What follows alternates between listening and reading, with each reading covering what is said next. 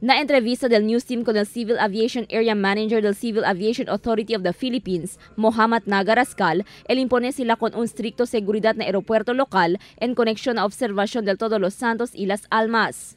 A según con Rascal, el seguridad el impone junto con di ila mga personajes en coordinasyon na Philippine National Police y Task Force Zamboanga. El impone también mag-assist ang desk na arrival y departure area del aeropuerto lokal kel asisti con mga pasahero.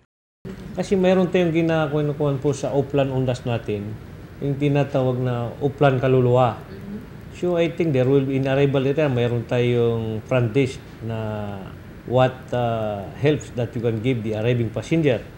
Also the uh, departure na kung anong maglalagay pa tayo doon ng uh, table, what you, what can you give in the uh, public, uh, flying public na anong may tutulong natin sa mga mananakay at saka sa parating na pasahero.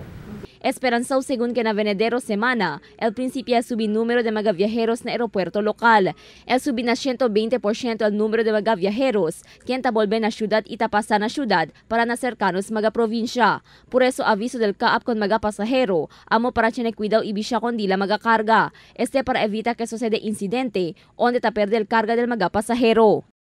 Minsan sa mga in Terminal 3, pinapaalala ng airline that you can uh, uh, clarifying your uh, baggage, tingnan ninyo maigi dahil uh, baka maiwan ninyo. Tulad pa rin dito sa Sambuanga na may mga Beijing uh, kuwan natin diyan na inuulit natin na ating mga pasahero, tingnan niyo yung mga bagay baka maiwan ninyo.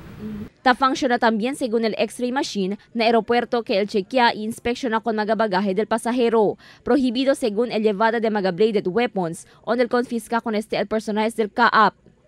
Crystal Almonía, Dateline Zamboanga.